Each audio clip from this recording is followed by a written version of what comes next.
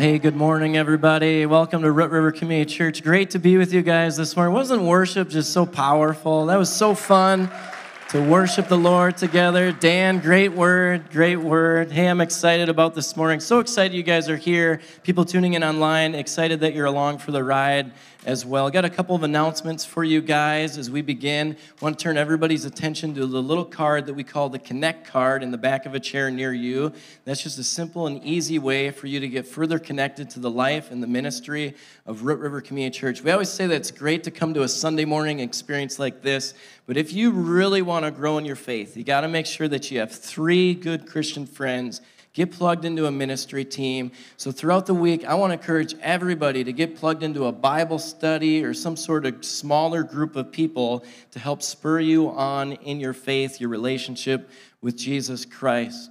Uh, also, want to highlight, as Josh already did, the Bible Adventure Family Night coming up this Wednesday. As Josh already did, the Bible Adventure Family Night coming up this Wednesday, July 13th. This is for kids up to age fifth grade and their families to come out and be a part of this. It's kind of a VBS style one night shot. So come out this Wednesday, 6 p.m. You can sign up today at the Connect table. Also, want to highlight that Saturday, July 16th, is our annual 5K shoebox run as a part of Rushford Days. It's starting right here this year, and you can sign up and find out more information out in the foyer.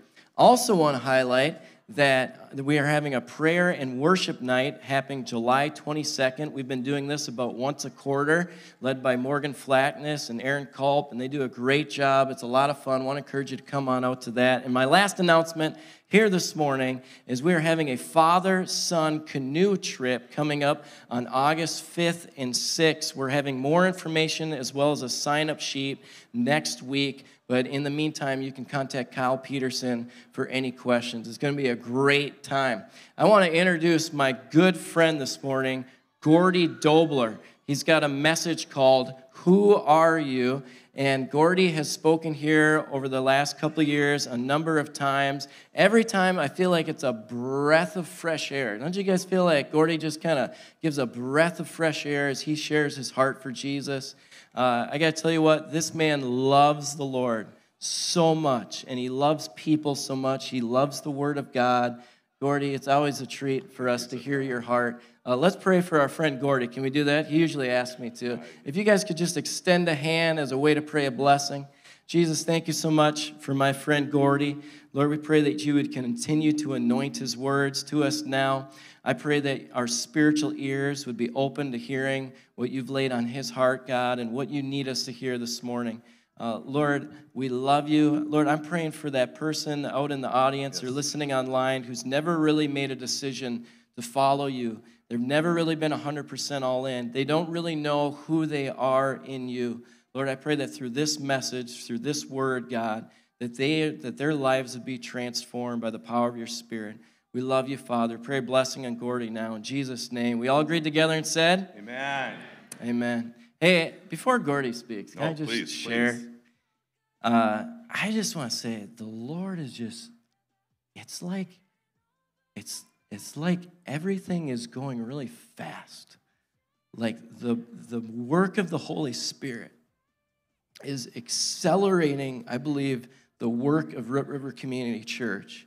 And, and I just want to encourage everybody keep jumping on board. Yep. God is on the move. He loves all these little small towns all over. Um, I, I was in a Bible study in Canton this last week, and the house was full. I was in a Bible study in Preston this week, and it was full. And, and I, I was in Bible study in Rushford, and there's lots of people. I'm telling you what, all over in these little small towns, God is on the move. And it is so exciting to see what He's doing uh, throughout lots of different local churches, including Root River Community Church. So keep getting plugged in. Okay? Are you with me, church? Amen. Amen. Hey, with all that being said, every time I introduce a guest speaker, I say this let's give them lots of amens. Let's give them lots of preach it, preacher. That's good. Keep it coming, brother. All those kinds of things. Would you give my good friend Gordy Doblar a big, I'm talking about a big Root River round of applause?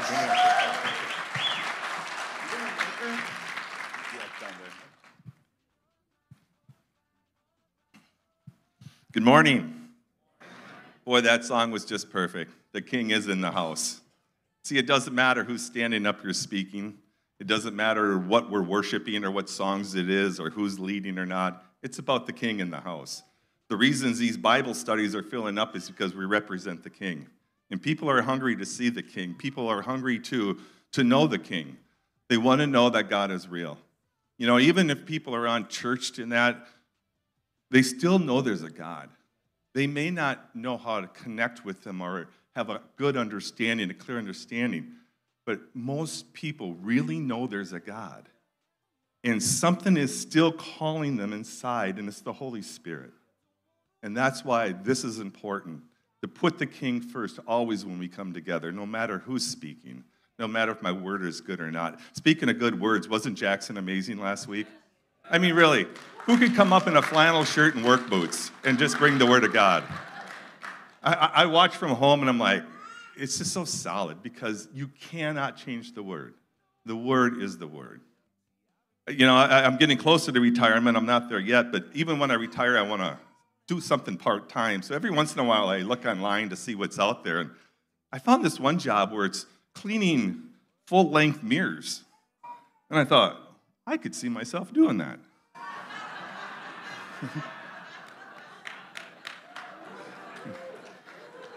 I couldn't even tell you who that's brought by. I just heard that. Um, so today, what I want to do it's, it's, it's who you are. See, the world would like to define who we are. Hey, what happened? I looked back there and I said I had 187 minutes. Wow, that went away. so I'm not gonna. Yeah, I am gonna. Um, so what I want to do is who the world says we are is now what the word says we are. So what I want to do is just kind of read the word because the word will tell us who we are and not how we feel, but who we are. So I'm going to have a little help this morning. I have my very own assistant, uh, my be- beautiful wife, Misty. So if you would give her a big Root River a round of applause.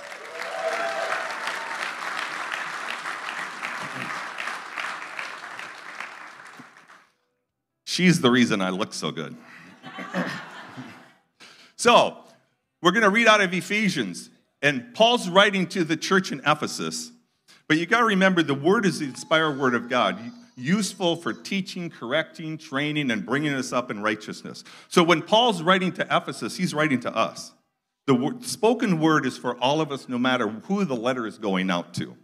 So if you want to follow along in, your, in the Bibles that are in your seat, you're welcome to. It's the NIV version I'm going to be reading out of anyway. So I'm just going to be going through the first few verses here and just see who God says we are. So Ephesians 1, starting in verse 1. Paul, an apostle, apostle of Christ Jesus, by the will of God, to God's holy people. Who did he say? God's holy people. So who are we? We're holy. I know a lot of you are thinking, well, I'm not holy, only God is holy. No, the blood is Jesus, cleanses us from all unrighteousness. And Paul says, because of Christ, we are holy. To God's holy people in Ephesus, the faithful in Christ Jesus, grace and peace to you from God our Father and the Lord Jesus Christ. Praise be to God and the Father of our Lord Jesus Christ, who has blessed us. What has He done? He's blessed us. So we must be blessed.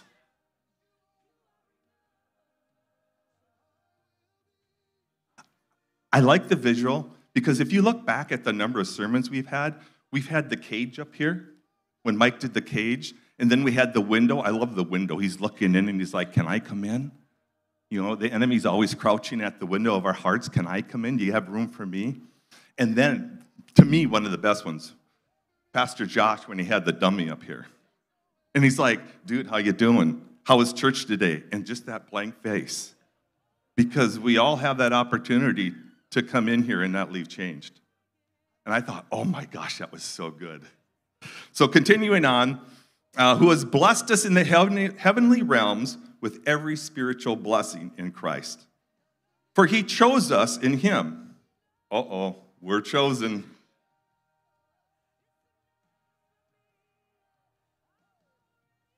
Isn't she beautiful? Oh my gosh.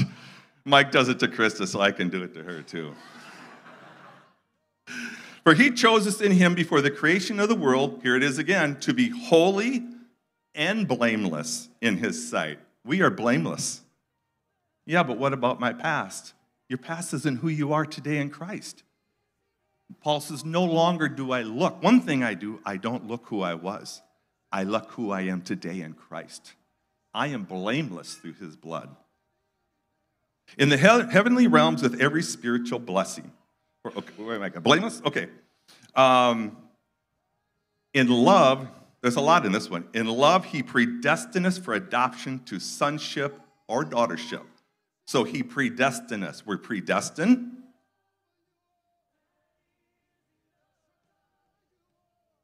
We can go do two pages too. and she's my English teacher. She's corrected me on how to say things correctly, how to spell. I do math and she spells for us. So, adoption, we're adopted.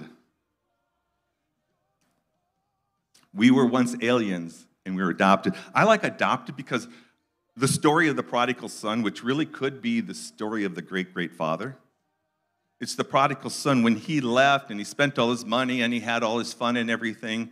When he came back, his words were, I'm no longer worthy to be called his son. I'll come back as a servant if my dad will have me. And his dad, remember, went running out to him, clothed him with a robe, had a feast for him. He says, I adopt you back into my family. Adoption actually means cared for, taken care of by another. Our Father takes care of us. Sonship, son and daughters. We're son and daughters. Jesus, when he came back from the grave, he saw Mary. The first person he saw was Mary. And he said to her, Go tell my brothers. He didn't say, Go tell those guys who ran out on me. Go tell those guys that are still hiding right now. He said, Go tell my brothers. They were no longer just disciples following him, he made them equal with him. Go tell my brothers. He called us family family was huge in the Jewish society. It was all, it was, everything revolved around family. Jesus says, Now you're my brothers and sisters. Now I have paid the price for you to be adopted back. Okay, so sons and daughters, through Jesus Christ in accordance with his pleasure and will. Isn't it amazing? We are God's pleasure. When I think, of, you can write pleasure and will. When I think of pleasure, I picture God He's sitting up on the throne, and every day he does this. He does. He pulls out his wallet, and my picture's in his wallet because he's so pleased with me. He's so pleased. What did he say to Jesus? This is my son, who I'm well pleased with. Twice he spoke that from heaven. This is my son, who I am well pleased with. Hear him. He's pleased with me. So he pulls out his wallet and he pulls my picture out and he shows the angels. He lines them all up and said, This is my son, Gordy. He's my pleasure. This is my son, Chase. I am so pleased with him. This is my daughter, Wanda. I love her so much. Look at him. And all the angels do that every day. They look at our picture every day because the Father is so pleased with us. Oh, we're doing good.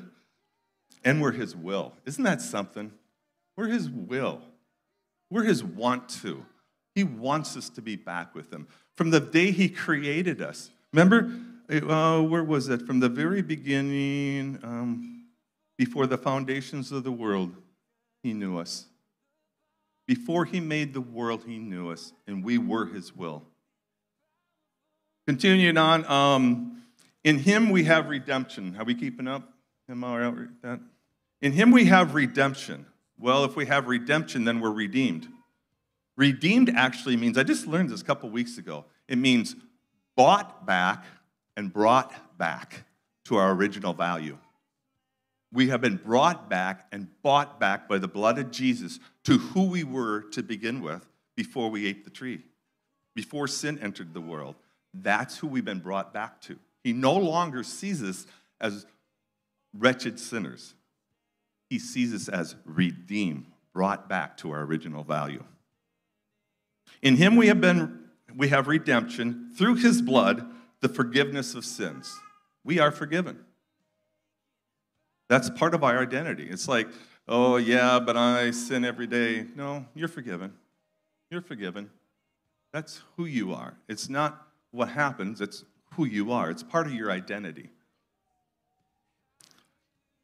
Forgiveness of sins in accordance with the riches of God's grace.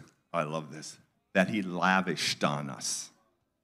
He lavished on us. He poured everything out in good pleasure with lavish. Here's how I like to look at lavish. I asked Misty if I could share this. So, lavish. So, once one day out of the year, usually in the winter after Christmas, when, when, when all the winter clothes are like on clearance, we only shop at clearance racks. I, I take her out shopping for the whole day. We leave about 8 o'clock in the morning and we stay shopping till 8, 9 at night till the store is closed or until she says, honey, I've had enough. I've had enough because I love her. I lavish that day with her. Just anything you want. It's kind of funny. Who's seen Pretty Woman? Remember when she comes out, she's modeling all the clothes, you know, and everything, and that's my pretty woman. I, I get a man chair and I sit there and she tries clothes on for me, and I'm like, anything you want, honey, anything you want. I'm lavishing my love on her. And God does the same thing. He's like, You're my kids. I love you. I want to lavish everything that I have. It says, uh, with all spiritual blessings, all spiritual blessings are ours. That's a God that lavishes his love on us.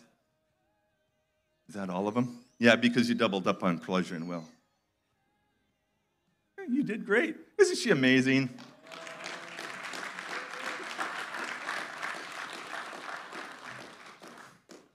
Vanna White better look out. then to finish this, I'm going to skip ahead, Jacob. Um, in Ephesians 1:11, so that's just nine verses out of one book in the Bible of God telling us who we are. This is so neat. And in the message translation, Ephesians 1:11, I love what this says.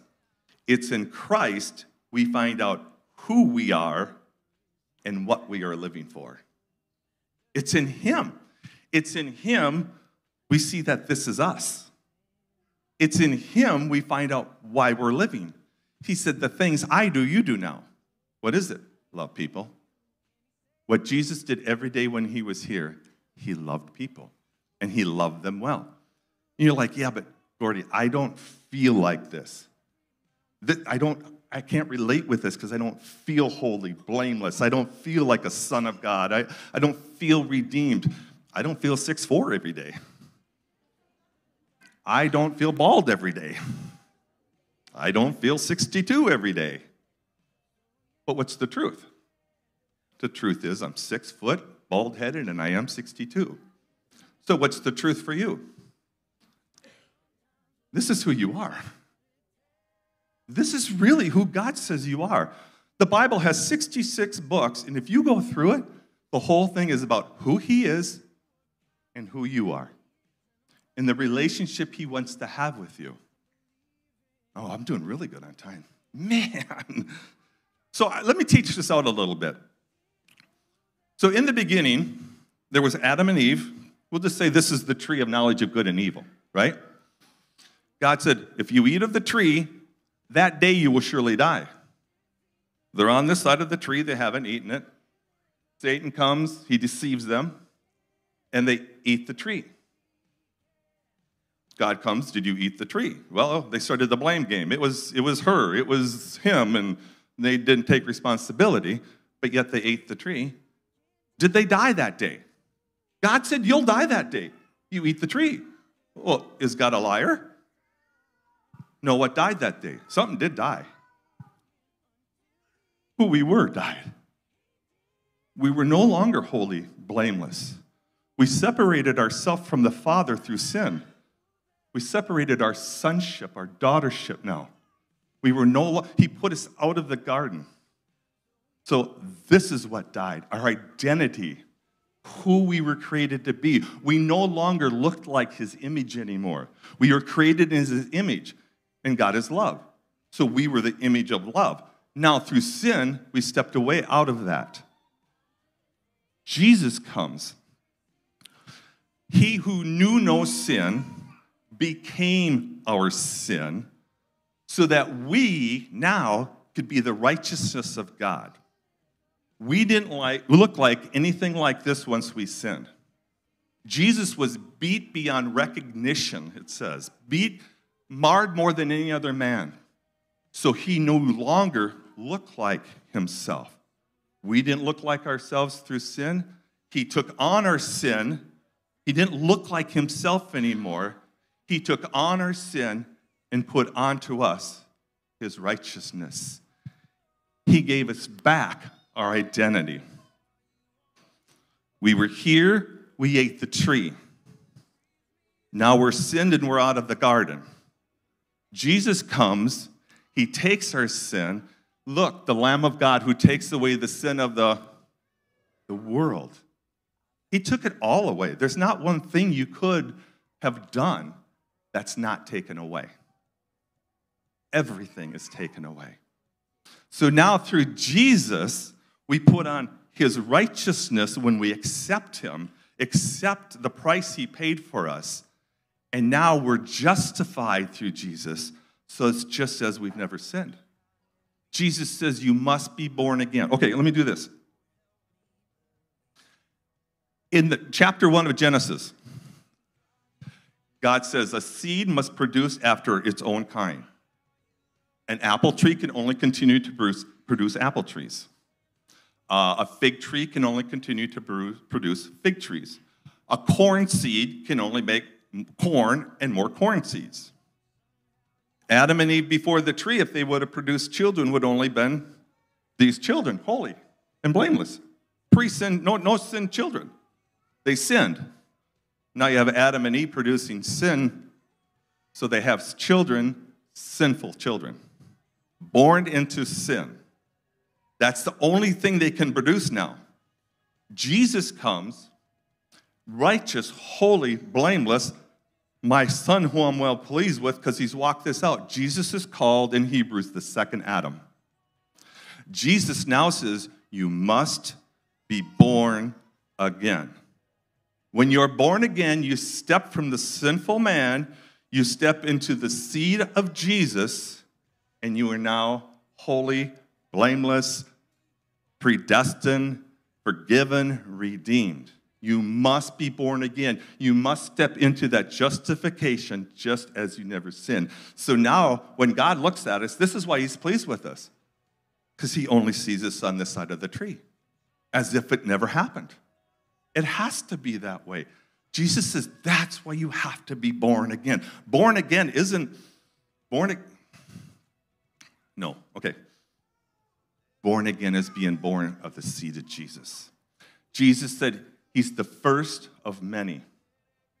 Follow me. If you follow me, you are this. I know there's many here, many people here today that don't believe this, that don't believe they're holy and blood. It's not my sermon. It's just not. It's the word. This is who you are. I haven't heard an amen yet. There we go. oh, I feel better now. I thought maybe I was missing the mark. You know, if you go on into Ephesians 1 or 2, if you finish those two chapters, this is what it also says you were that you're accepted. You can't be rejected. See, that's why you can't reject me. You may not like me, and I'm okay with that, but you can't reject me. I've been accepted by Him. that's my freedom. You're accepted. You are marked. You are alive. Jesus says, oh, what, what, what's the scripture? Lose your life, you'll find it. Keep your life, you'll lose it. When you lose your life, you become alive again. It also says you're saved. You are God's handiwork. Wow, that's pretty cool. You knew me in my mother's womb. I'm carefully knitted together by your very own hand. And we are also members of his house. What a better place to be than members of God's house himself. Oh, yeah. Um, I have plenty of time to do this, so um, just want to make sure I'm not missing anything. Okay, we're just going to go. Thank you. And um, so uh, back in May, uh, Missy and I, we uh, went to the Bahamas for a couple weeks.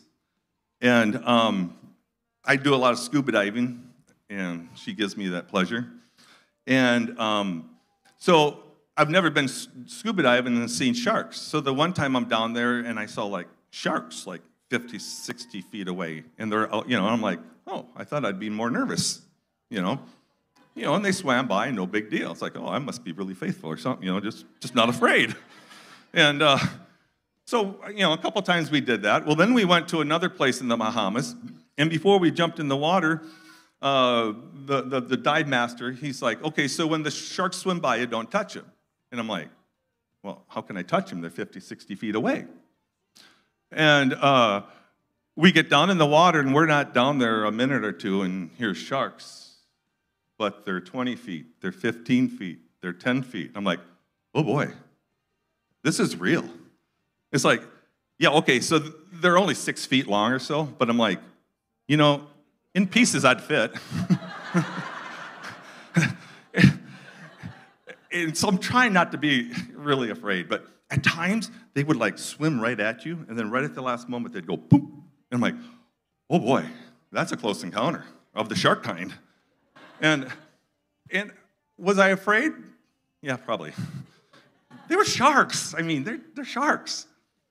And uh, so I'm diving along, and there's really nobody right around me now. And I'm probably six, eight feet off from the bottom uh, of the water, of the surface. And, and all of a sudden, on my leg, I felt boom. I'm like, oh boy. And I didn't even look. I was too scared to look. But it was a shark. And I'm like, oh my gosh. But isn't that what life does sometimes? life is, the, the enemy's like a shark. He'll come right at you for a while just to see if you're going to waver, and then he'll veer away. But every once in a while, the enemy, he'll bump you to see if you're going to move off your faith, to see if he can't rally a little bit. And sometimes the enemy, he really does take a bite out of you. I mean, maybe losing a loved one, maybe someone sick in your family, maybe something that God, why are you allowing this? Which is a whole nother sermon. But things happen in life. Jesus says the same storm will come to those who build their house in the sand and on the rock. The same storm. It's just the house built on the rock will not be moved. So we had a little test. Well, actually, the week before uh, we went on vacation, uh, we buried my mom.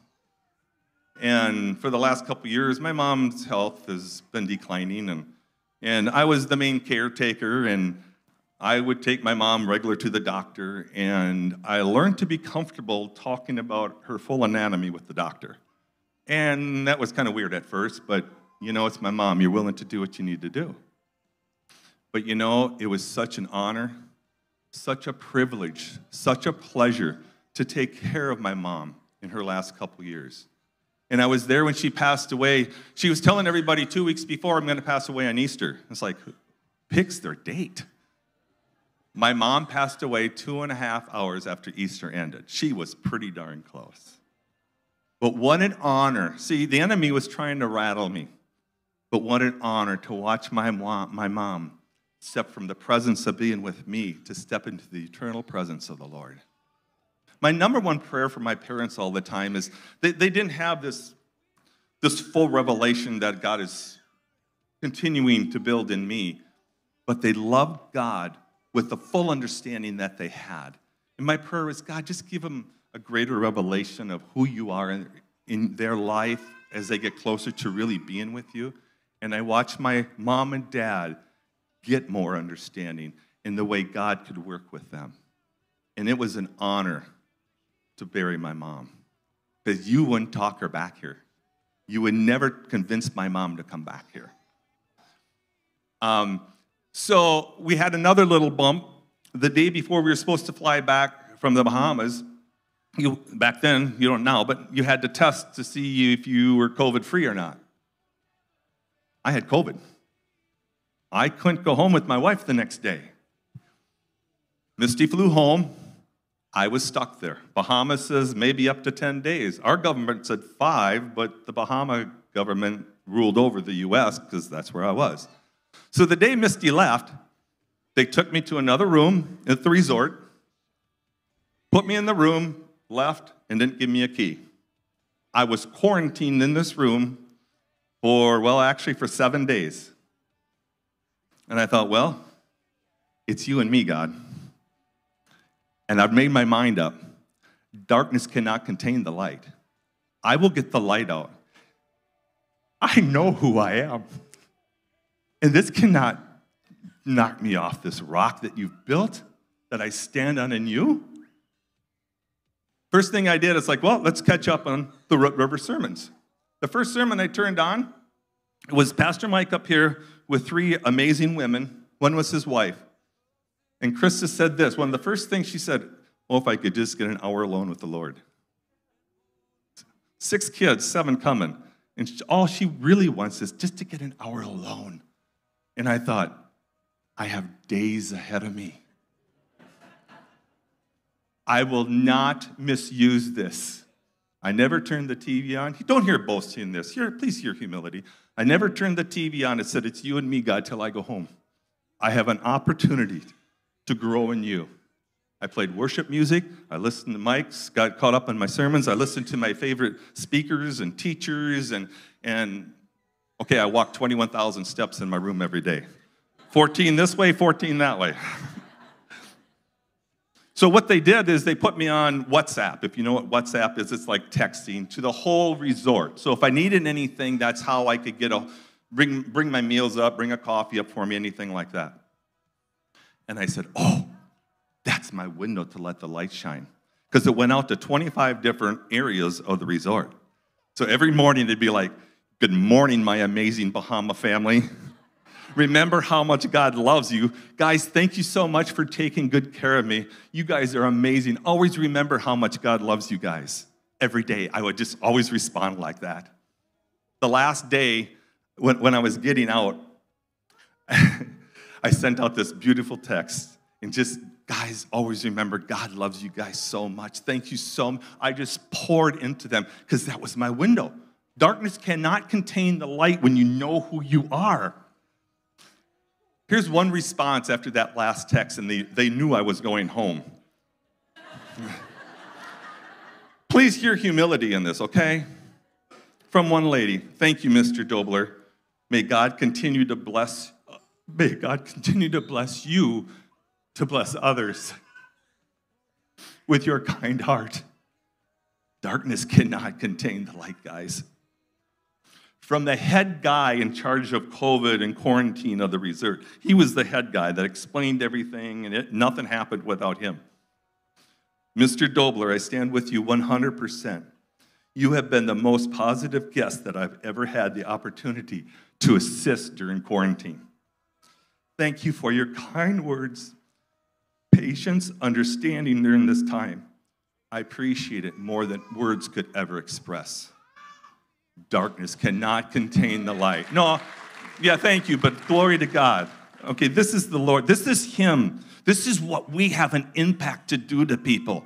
We have to take an opportunity. When the storms come, that's our time to shine. See, the light doesn't get dimmer, don't put the basket on and hide under it. Let the light shine because this is who you are. One lady says, Can I meet you? I'm like, Yeah. She came up to my room before I left. And she says, she, was, she says, I was on the bus at 4:30 this morning coming to work, and I was thinking about you. You were going home today. I wanted to meet you.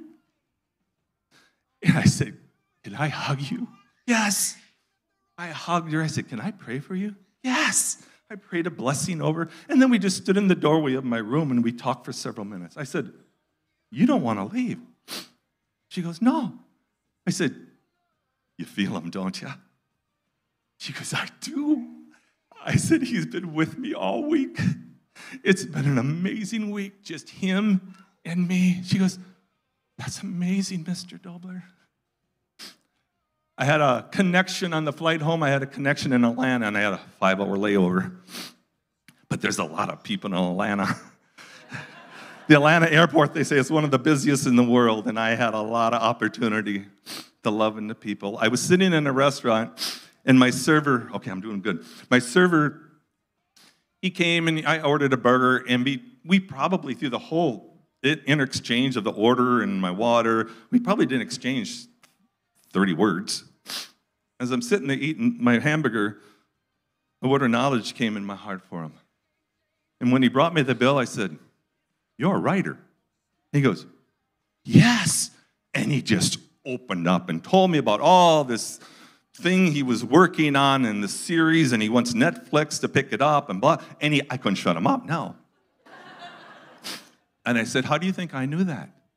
And he goes, You know, I had someone read my tarot cards not long ago, and they were predicting this stuff too. I said, How do you think I know? He goes, I don't know. I said, God told me that about you because that's a gift of writing that He gave to you. So when the doors open up for these things to happen in your life, you'll remember that God gave you that gift and you can get to know Him a little better. Wow, that's amazing. See, when you know who you are and you get bumped by the enemy, when you get bit by the enemy, you don't have to be rattled. It's Him.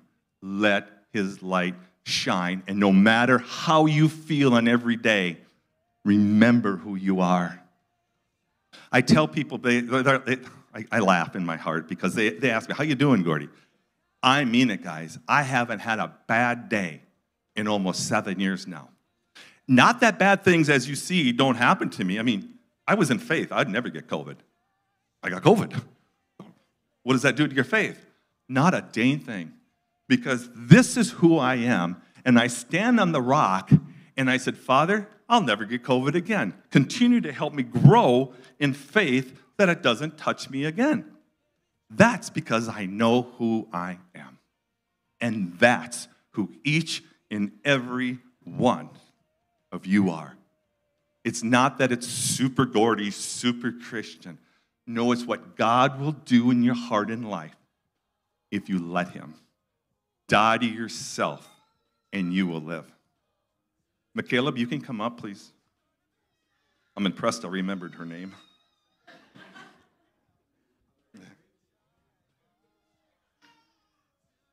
So, Misty and I have been coming a little over two years here to Root River, and you guys have been amazing. You've just welcomed us in, and I know I come with my arms wide open, and some of you guys are a little uncomfortable, but you hug me anyway. Thank you. Thank you. And you know, it, I, we were probably here, I know, a number of months. And Pastor Mike, he says, Yeah, he was talking about me. And, and he goes, Yeah, you know Gordy w- w- with the dorky smile. You know, and, and, of course, it doesn't bother me. It's like, I know what he's saying.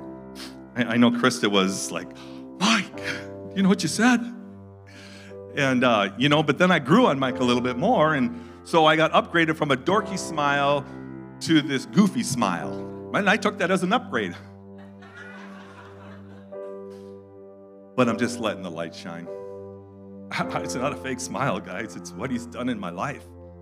It's what he's died to do in your life. And you don't have to look like me. I mean, girls, please don't shave your head. It's just, Kevin, I'm glad you did. You look amazing. So, anyway, I'll finish with this. I like to finish with lyrics of, of songs because songs are just so powerful. And uh, this was written by Brian and Jenn Johnson out of Bethel Church, and it's just a, a few of the, the words out of the song. It's called The One. Let me be filled with kindness and compassion for the one, the one for whom you loved and gave your son. For humanity, increase my love Oh, how he loves us from the homeless to the famous and the in between. So help me to love with open arms like you do, a love that re- erases all the lines and sees the truth. Let my life tell of who you are and the, and the wonder of your never ending love. Let my life tell of who you are. You are wonderful and you're such a good father. Help me to love with open arms like you do, a love that erases all the lines and sees the truth. Oh, that when they look in my eyes, they would see you. Even in just a smile, they would feel the Father's love. Guys, we need to know who we are so we can show the world who He is. Will you stand with me and let me pray over you?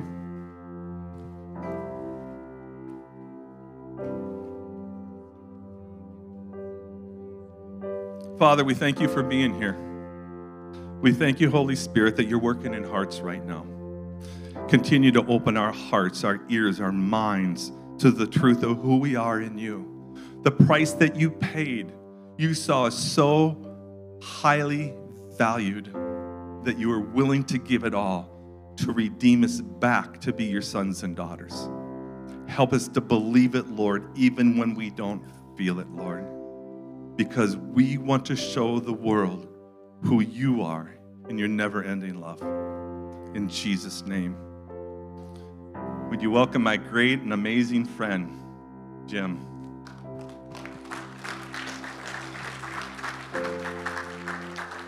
Thank you, Gordy. Uh, you know, as, as, I stand up here and look out and see each and every one of you, you are God's masterpiece, and He loves you so much. Yeah, but it's all God's word. And uh, in Hebrews 4, verse 12, it says, For the word of God is living and powerful and sharper than a two edged sword. It's piercing even to the division of the soul and the spirit, and of the joints and the marrow, and is a discerner of the thoughts and intents of the heart. And there is no creature hidden from his sight, but all things are naked and open to the eyes of him, whom we must give an account. Seeing then that we are have a great high priest who has passed through the heavens, Jesus, the Son of God, let us hold fast to our confession. For we do not have a high priest who cannot sympathize with our weakness, but was in all points tempted as we are, yet without sin. Let us therefore come boldly to the throne of grace, that we may obtain mercy and find grace to help in a time of need. Amen. So, Heavenly Father, we thank you for your word, Lord. And Father, I thank you, uh, Jesus, a name above every name, who is always there for us and with us, leads us, guides us. And Father, we just thank you. I thank you for each one you brought here today, Lord. I ask your blessing upon them. And we just thank you. In Jesus' precious name, amen. We got prayer in the front, fellowship in the